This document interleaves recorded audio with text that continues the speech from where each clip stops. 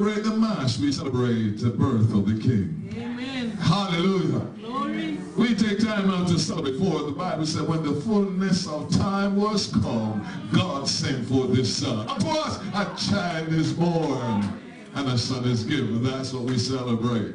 So don't go home, go celebrate Christmas. Celebrate the King. Amen.